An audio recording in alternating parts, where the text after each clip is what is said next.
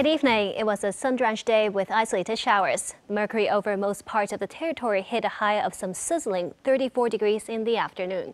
At 5 p.m., the subtropical ridge brought generally fine and very hot weather to southern China.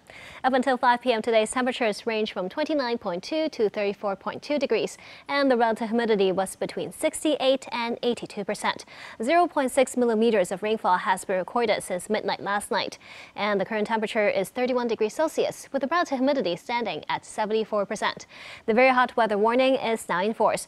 Remember to stay hydrated and avoid overexertion. So, Freddie, how's the weather looking tomorrow? Oh.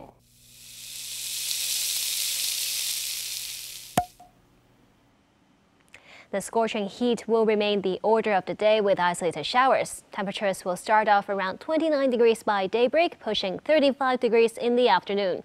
Persistently very hot and fine for the rest of this week to midweek next week. Tomorrow morning's air quality health risk will be low. The maximum UV index forecast for tomorrow will be about 11. Now to the latest global weather update. Rainy Shanghai, cloudy in Taipei, sunny in Xiamen. Sunny in Guangzhou, bright in Macau, cloudy in Chengdu. Sunny in Beijing, rain in Seoul, cloudy in Tokyo. Thunderstorms in Bangkok and Manila, rain in Ho Chi Minh City. Thunderstorms in Kuala Lumpur and Singapore, cloudy in Jakarta. Rain in New Delhi and Mumbai, bright in Karachi.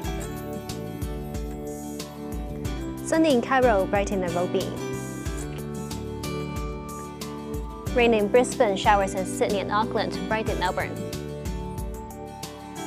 Showers in Toronto, thunderstorms in New York. Sunny in Vancouver and Los Angeles, bright in San Francisco. Cloudy in London and Paris, showers in Amsterdam. Bright in Frankfurt, Zurich, and Rome.